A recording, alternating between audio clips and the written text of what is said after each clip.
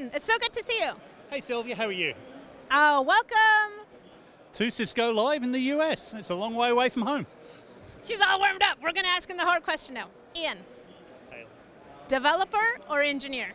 Very good question. Now, actually, I don't see much of a difference anymore. So, developers today are our engineers. If you're an engineer, you need to become, at least have a development frame of mind. A lot of the interviews I do for new hires, they've got developer backgrounds. So, it's important. You need to be able to think one way or the other.